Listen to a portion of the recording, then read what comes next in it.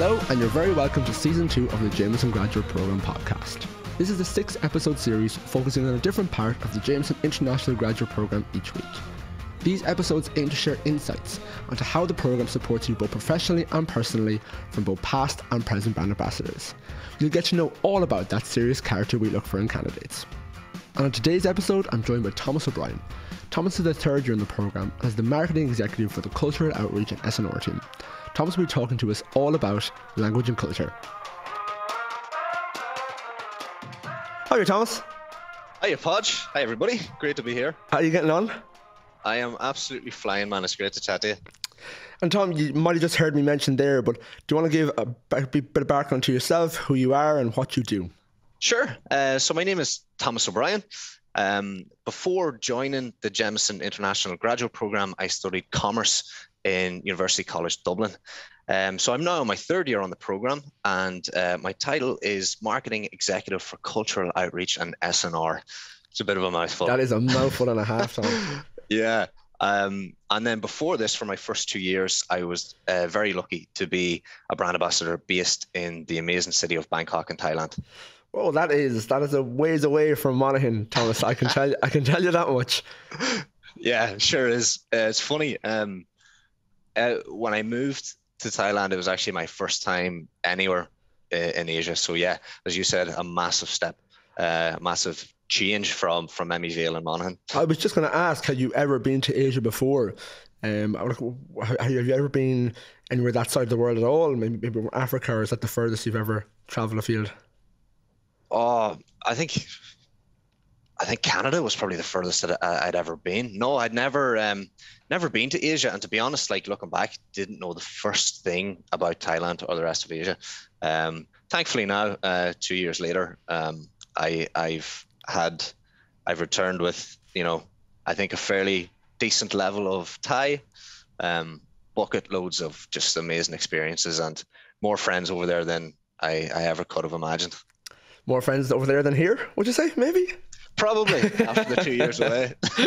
so Tom, talk to me. You you you went through the application process of the graduate program nearly two and a half years ago now. Actually, nearly three years ago for us, which is which is insane. Um, and then come end of July, start of June, you were told that you'd be heading to Asia. What was your initial thoughts? Oh man, that's funny man. I can't believe that it's actually been three years. That's crazy. Um, yeah, because I can remember like the, the exact spot that I was standing in when I when I found out that I was going to be the, the brand ambassador in Thailand, and it was just honestly, it was just sheer elation. You know, no, knowing that that amazing opportunity was was ahead of me, and only like a few weeks ahead of me. So it was an incredibly exciting time. And then I kind of realized I was like, oh, I better, I better learn something about about Thailand before I get there. You know. Were you nervous at all, or were you kind of like, oh God, um, or was it just a purely welcomed? You know adventure? I, I think for the most part it was just a, a welcome uh, adventure. I think less nervous and more just excited all the time. You know, um, particularly because like I think it was a, a, couple of weeks after I found out, then that was the start of induction, and suddenly you're meeting everybody else. Mm. Some people that you've recognized from, you know, from the, the different stages of the application process. So it's exciting seeing all those people, finding out where everybody's going, getting to know each other, and then all of a sudden you're your backside sitting on a plane and you're heading halfway across the world. And you're like, wow, okay, here we go. This is real. Of course, yourself as well. You you weren't uh, on a lone venture. You did have Casey Maher, who who is I now did. like yourself based in Dublin. The two of you were, were the brand ambassadors in Bangkok, which is amazing. Um, yeah, we, we follow each other everywhere. Till death do you part. Ju- someone could say. A joint package, yeah. So don't talk to me. You you as you mentioned there with the four weeks of induction, which we know are incredible four weeks and you get to know so many people and you become so close with so many in such a short span of time. Uh, and then you hopped on a flight, you went to the other side of the world. What was it like? What were your initial thoughts when you arrived in Thailand? Ah, uh, yeah, it's it's funny uh, in terms of like even before going there, I I didn't know what to expect from from Thailand. You know, I didn't looking back, I didn't really know the first thing about it. So I just tried to go there with a totally open mind, ready for this big adventure. And in terms of a culture shock, I actually think it hit me all in the first night. Go on, talk to us. Uh, like you mentioned, I, I I was over there, uh, very lucky to be there with the wonderful, lovely Casey Maher. Um, but when I first landed, I was by myself. Um, so I traveled there, arrived on a Sunday. Um, didn't know what to expect of the city. Um, I couldn't believe just how big how big it was when I first arrived. That was kind of mm. the first thing that hit me. And then I'm in the hotel, I'm checking in, and straight away the language barrier hits. Um, and to be honest, like looking back, I don't think it was even so much the language barrier as more like me expecting there to be a big language barrier. yeah. But yeah. you know, like had that feeling of like, oh, I feel like I'm such an idiot. I can't communicate here. and I was I was starving. The the restaurant in the hotel was was closed. Eventually, I'm handed a map, and they've like drawn on the map directions to this uh, restaurant um, next door. And went in there. The restaurant it, it was lovely, but there was no one else there. And I menus in Thai. I'm like, okay, I order from the pictures. I got a, one of those. Uh, I ordered some soup, what I know to be a tom yum goong, like so, like a spicy shrimp soup, um, which is like a staple over there. Uh, but I didn't realize that like these are sharing plates, so I got this like huge, big, giant bowl of soup, and it was so spicy that uh, it made me cry. So my first night, I my first. So, your first night you were crying is what you said. Your first. I was sitting alone in Bangkok crying, but that probably gives us such a grim, a grim outlook. But it wasn't like that at all. You were uh, crying for like the food reasons, not because you were away from home. Yeah, tell you what, it tasted very good, and but in ter- man, in terms of a culture shock, that was it. Like mm. that's the one thing I always go back to. After that, um, I was met by uh, David O'Boyle, former brand ambassador uh, in Thailand, and from that moment on, settled in very quickly. Thai people are amazing. They're some of the most, I think, kind and welcoming people in the world, Can and you... from thereafter, um, settled in. Do you think you could prepare yourself for a culture shock like that? Is there, can you do enough research to not be shook, or do you think you have to be there to, I guess, experience what you experienced? Yeah, I think I think it, you can read as much as you want uh, and talk to as many as many people, but um, it's up to you to go to go there um, and experience it for yourself because you'll always find something, you know. Mm. Um, it's the same way. I mean, you can talk about the culture shock, but then you talk about all the the other kind of wonderful different things that you can experience in another culture, and you know, hearing about them is one thing, but experiencing them is is totally totally different. And do you have any of there like of example? Like, what would be your kind of top three, maybe cultural nuances that you noticed or that, that you loved over there that wouldn't be wouldn't be the same here in Ireland? Yeah. Um, in terms of like cultural differences, well, I mean, lang- language was the biggest one for me. Mm. Um, you know, did you, did you learn um, any? Did you learn any of, of, the local language there? What What is the local language there?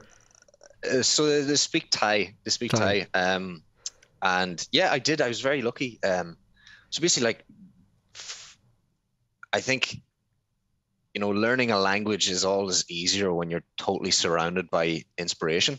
Uh, and I was lucky when I arrived there that the company had arranged Thai lessons for me. Um, and they were brilliant. I think I had maybe 15 lessons and they were great for helping me learn the basics, how to introduce myself. Sawadee krap, hello, pum tomat, my name is Thomas. Pum Maja Pitt Ireland. I come from Ireland. Pum Ben brand ambassador Kong Jameson whiskey in a cap. I am a brand ambassador for Jameson whiskey.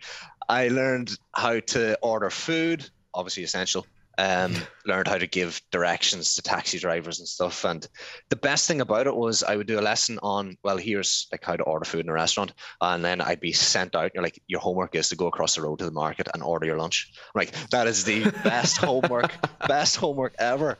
And then like chatting with taxi drivers was the way that I practiced most in the beginning because like even imagine like I was going to say as taxi. we all know as we all know taxi drivers yeah. love to have a chat so they love to have a chat and it's pretty much the same chat all the time you know so that was what, what time are you on till are you busy tonight yeah yeah yeah so for me it was just practicing who I am, what I do, where I come from. Uh, and then the longer I was there, I started to learn obviously more about the culture and the people. Um, and I started to learn like, uh, you know, that a lot of the taxi drivers were coming from like a particular region in Thailand called Isan, and they speak a slightly different dialect. So instead of saying Sabaidi Mai, which means how are you, I would say Sabaidi Bok, which also means how are you, but in a slightly different way. Okay. So then I started practicing on the taxi drivers and I'd say it. And if they were from that region, they'd be just like, You what? Yeah. How do you know how do you know what that is? You know? Um, and that was one of my favorite things was like uh, picking up a new phrase and just trying it. Yeah. And nine times out of ten making a total hames of it. But you know, it didn't matter. It didn't matter because they showed like such a genuine appreciation that you were making that effort. I was just to say, do, do they like show? So, like, would would you deem it important to try and learn the local language? Of course, as we know, uh, on the graduate program, um, some we do have seven key languages where brand ambassadors who are spoken in those languages will be sent to markets where there's the, the, the speaking language. But like yourself, we, we have other um, markets where you don't know the language. So, do, do you think it's important for a brand ambassador to try and learn the language over there? Totally, totally. I think it's honestly just important to learn new languages in general. Um, I think we're very privileged that we speak English as a first language, you know, Mm. and whether it's good or bad, it's it's very quickly becoming like the global universal language. You know, it's the language of pilots and air traffic control, finance, popular mainstream music. And most people who don't have English as their second language are trying to learn English. Hmm. But I think I can definitely attest to the importance of of trying to learn uh, and making the effort to learn new languages. And did you have any uh, mess ups, or like, did, did people laugh at you Oh. all the time? all all the time. One one thing that's super fun that I love about the Thai language is that it's tonal. Um, so you find this in a couple of different languages, um, where Mandarin as well is tonal as well. isn't yeah, yeah, exactly. So like one word, depending on how you can how you say it, has several different meanings. Um, well, I get you. I might get you to try some, will I? Go on, because in my head I'm thinking, what do I do? I mean, ah is another one. I'm like, ah, ah. Ah, Ah. see, so no, you know, this, there's, this, there's, is, this is different again. This is like uh, there's there's certain sounds as well. So it's less to do with the language, and this is more just kind of uh, I don't know. Would you just call it like a a general spoken thing, or like we would say something like, uh, what would be a good example?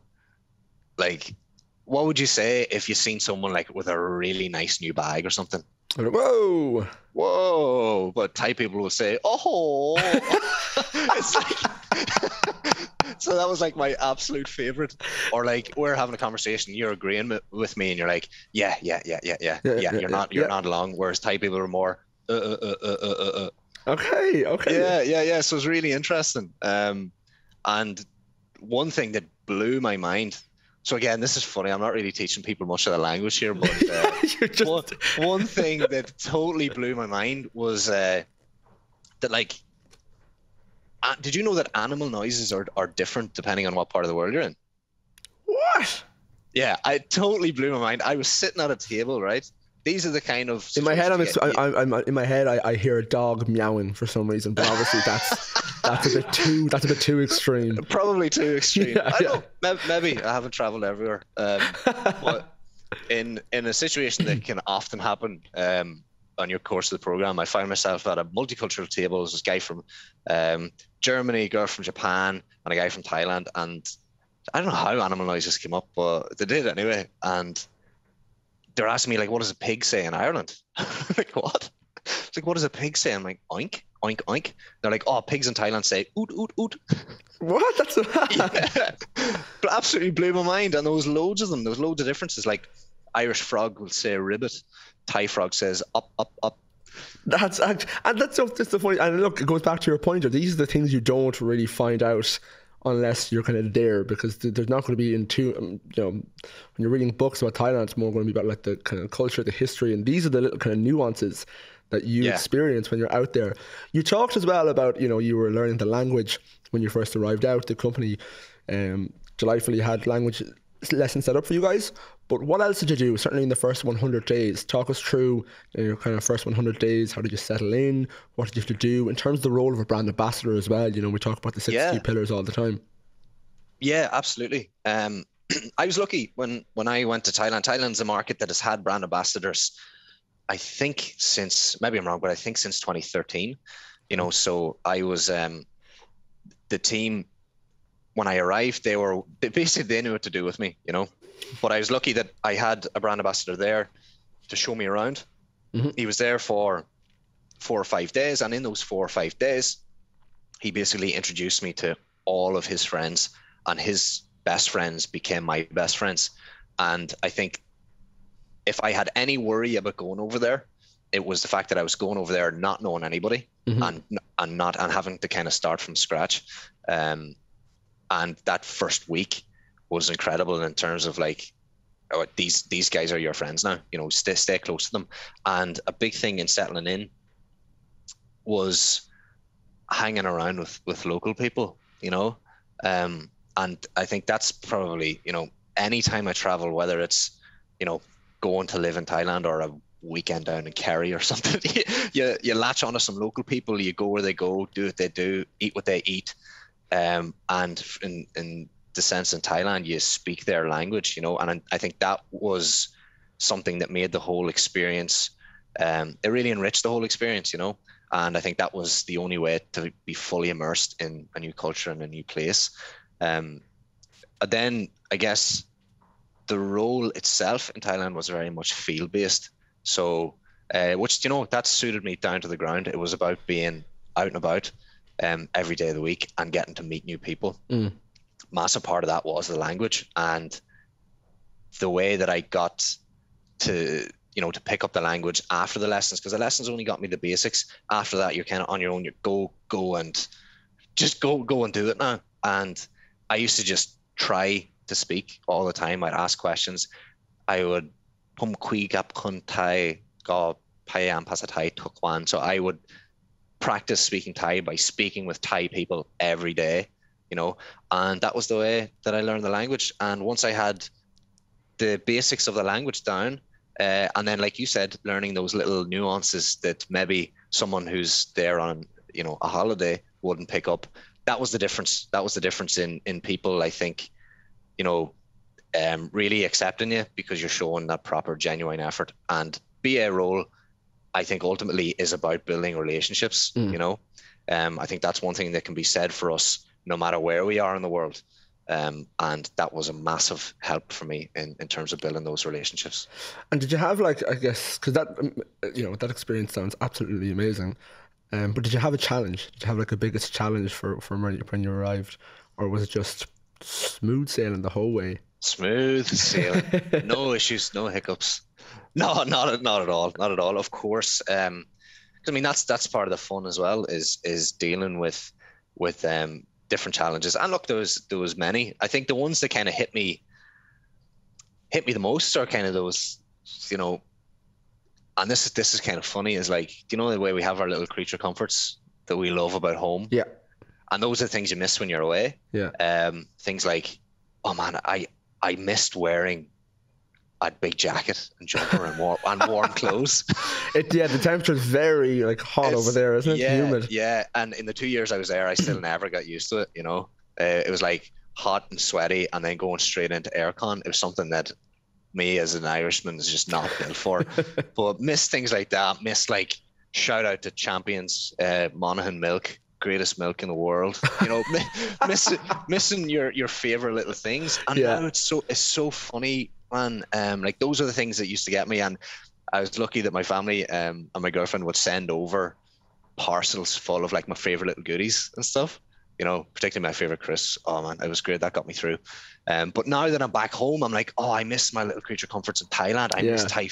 I miss Thai food more and more every day. I've made some terrible attempts at trying to cook here, but it's just not the same. You can't learn everything on the graduate program, Thomas. Unfortunately, you can't learn how You to do can't. But everything. you can make you can make a pretty good stab at it though. um, I guess Tom, one of the I, I've it's kind of two more questions for you, certainly in terms of language and culture. Um, but I, I wanted to ask, what personally do you think how how did that your experience over in Thailand kind of help you grow? Not only you know personally, because we all know that that stepping out of your comfort zone and, and you know going on, on an adventure like that to somewhere you've never been before is always going to help you personally to grow and kind of meet new people, but professionally as well. What way do you think that experience has helped? Yeah, well, if I take off the professionally first, um, me being someone, you know, even before the program, I had an interest in marketing, and I was determined to kind of to to start a career, um, or pursue a career in marketing. You know, having the opportunity to, you know, travel halfway across the world and represent a global Irish brand, you know, and because Jameson here is is is huge. Like everybody knows um, what Jameson is, but over there they don't. So you got Mm. to be on the ground, and that first hand experience of like, okay, I'm the guy who's introducing this brand to, to new people. I'm building the brand here in Asia on the ground.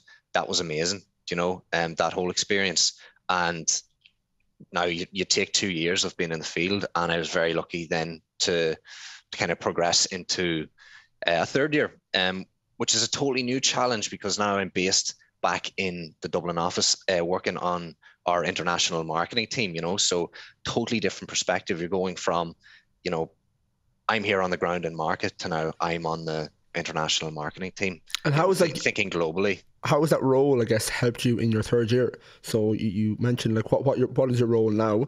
Um, you mentioned at the start of the podcast, but how has that experience you've had for two years helped you to apply it to your current role back in the Dublin office? Yeah, so so my current current role, um, marketing executive of cultural outreach and SNR. I, I need to find a way of shortening that down or something. Get, a tattoo, get it tattooed on you or, or, or yeah, something. Yeah, you know? yeah, that'll be good. Yeah, that's a great, great idea. Probably um, might might be a bit uh, not useful if, if you do move move roles. Uh, it might be a bit. it wouldn't it wouldn't be great. I don't think there's enough room to be honest. but um, yeah, the, the, the, current role the current role uh, to be honest with you is is amazing. So I basically I support um, across some key uh, brand global brand campaigns. So biggest one being March, which is um, one of our key moments in the year, and then supporting across other global brand experiences. And a big piece of that is culture, the area of cultural engagement. So it's still something that I think is in its infancy, but is, is going to continue to grow year on year. Um, good way to kind of a good brand to, to look at as kind of best best example is something like Nike. Um, you mm. know, Nike is no longer seen as you know, just a sports apparel, you know. Uh, it's not an athletics brand anymore. It stands for so much more than that. So the cultural engagement is sort of almost everything that exists outside of the whiskey category. Things like brand collaborations, um, product placements, influencer programs, um, and then of course there's there, there's a huge piece on the bartender community as well in my new roles. So just a few things. Just yeah, a few just things, a few things. Um, Shout out to the hosts, the host uh, the social host platform, Instagram. Yeah, yeah, absolutely, a massive part of it. Um, and how did my my two years? Well, I mean, eh, I think some of the the professional experience that I gained in in Thailand, I did a lot in terms of kind of influencer marketing. Um, and that all comes back to like building building these networks of of influencers and you just got to meet the most um, the most incredible people and mm. and what was really cool is getting to create something together and I think that was a big that was a big part of my role, that kind of influencer engagement side, and that's something that was directly applicable then when I I moved to this new role on the cultural outreach team. Tom, do you have I guess do you have a highlight of your time in in Bangkok for the two years, what, what would be your highlight? How long do we have left? I, I, my highlight of a, my, a few. My highlight of watching you was in that little van that you and Am oh, and Casey yeah, used to drive yeah, around yeah. the, the little Thailand van. You pulling in for, for gas day two last year, like, hey guys. Yeah, yeah, yeah. you know, um, one thing that I, I definitely wanted to tick off was driving in Bangkok. I was mad at that. I thought that was a great challenge, and it was very interesting. Um, this is why you need a full clean driver's license to yeah but i didn't i didn't expect this was when i needed but my first time driving in bangkok was in a vintage vw Jameson branded van with like hey man this thing is old and it had like no power steering. And oh, that you know you're like oh and that was my first time uh, driving in bangkok but that was really cool. Um, i think i was trying to think about this. I was this is why it was so nice to to to join the podcast today because it gave me a chance to kind of sit back and just reflect, which sometimes you know you you can forget to do. Um, and there's so many amazing experiences, um, particularly when your your job is to to meet new people. You know, I think that's always going to lead to some some really nice memories and experiences. And I think one standout for me is in between, so we were lucky we had some space kind of in between lockdowns where we could go back to, you know, um, some form of normality and see each other and go to bars and have events and stuff. And I, uh, my birthday fell in between, luckily enough. Um, so a lot of people weren't that lucky that they spent birthdays in in quarantines and lockdowns and stuff. But I had an opportunity to celebrate a birthday, not something I'd really done before. And I was like, oh, you know what? Like, um, it's my last year in Thailand. I'm gonna give it a go. And joined with uh, one of our key accounts. It someone was celebrating their the owner who's like my best friend was celebrating their birthday um, the day before mine. So we did a joint birthday party, and it blew me away. Um, all the people who who came out to, to celebrate that night, and I'm, you're talking people that you met through work. So I worked a lot with barbers. You had a huge crew of barbers came out, um, mu- musicians, bartenders, bar owners, people from the office. I could do with going to Thailand. To be honest, this this this chop here could could do with uh, getting a bit of a cut. Oh yeah, could I'm seriously missing it, man. I could do it one myself. Um, but just seeing this collection of people um, felt really nice because, like I said in the beginning, I went out there not knowing anybody, and mm. you have a nice little moment like this, and you you realize the network that you've built. You know, that you must have been doing something right. So I think that was a real standout moment for me. Now, I have a few other ones that are like, you know, chilling on an island, um, one of those beautiful tourist destinations with no tourists. Oh um, yeah, yeah. Chilling on an island with a load of island locals and watching the sunset and playing frisbee. There's just tons of them as well. Sounds sounds incredible. I must say it was it was good. Right, Tom. A few quick fire questions before we wrap up for this amazing podcast. And once again, thank you very much for joining us and giving your insights into the experiences you've had on the James International Graduate Program so far so far being so the, far. the key word there. But the first question, Tom, is one word people would use to describe you. Oh, oh, I have to be quick. Um, jolly, okay. jolly. tis, tis the season. Tis the season. I was gonna say. okay, Tom, say a, a word in another language. Uh, loom, which means that was my favorite word. It means for, I forget in Thailand. loom, loom.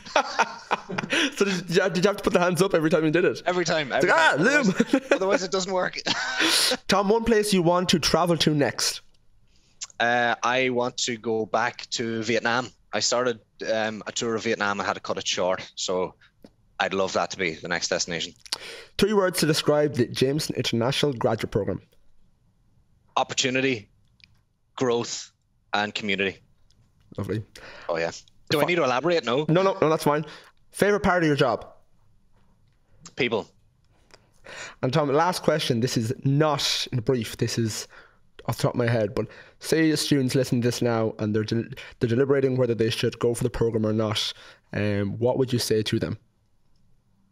Uh, go for it. There's there's there's no question. I I was the same. Um, I you know, I just decided I'm going to throw my name in the hat because look, it's it's it's a competitive uh, application process. There's no no doubt, um, but I decided that I would throw my name in the hat, and I never will regret that. You know, it was one of the best decisions I ever made. So uh, go for it.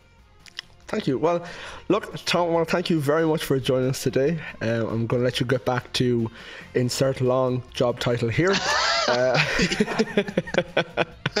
I was going to try and say it, but I know I just won't get it in one go. Go on, give us give us it one more time. Marketing executive of cultural outreach and SNR.